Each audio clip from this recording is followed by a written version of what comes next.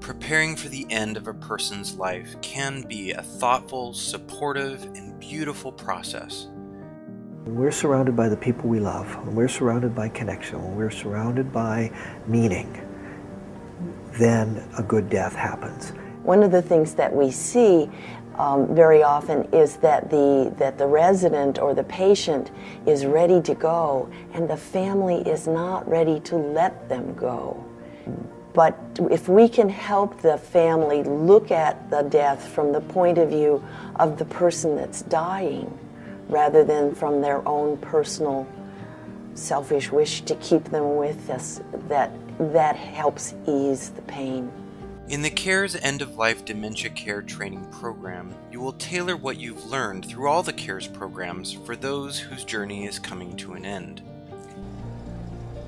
Good morning, Tony. How are you? Doing well, how about you? Well, I'm doing pretty good. How was, did you get a good night's sleep last night? It's just fine. It was fine, okay. I'm going to turn you on your side, on the other side. You're on the, on the right side now. We'll turn you on the left side, okay? Okay. Okay, and you had company, I understand, yesterday. I did for a little bit, yeah. Did they order pizza?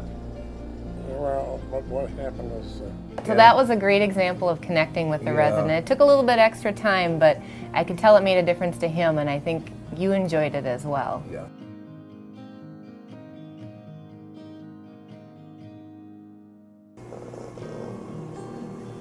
Helga. Is that better?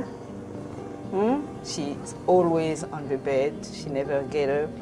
Kathy, can you say something to me? You know I love you.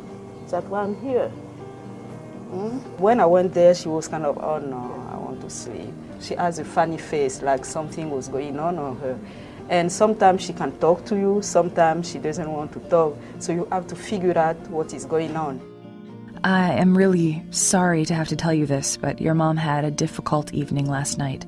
We checked her oxygen levels and they were low, so we started her on oxygen. Her temperature is elevated this morning, and I have a call out to the doctor to see if we should do a chest x ray. Oh dear, what do you think happened? She's been doing so well lately. Most people, when they're dying of Alzheimer's, die because of just nothing.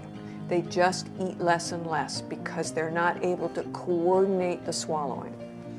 They don't generally feel hunger or thirst, they just slowly decline until they're bedridden and they don't starve. People really worry that they're going to starve. So if you're a caregiver watching somebody dying and you're thinking, oh my gosh, you know, they're not getting any food, actually, they're taking a very peaceful path. Funny stories are really a great um, grief lifter because you can only be in grief for so many minutes and then you really need to have a pause and a refreshment, and that helps the families. I worked for an agency for a while, and when someone would pass, we would sit down and have wine and just sit and have a memory of that person, each individual that worked with that person. You know, I'll just go home and cheers to that person, you know. Rest in peace. You had your fight, you know, and you made a difference in my life.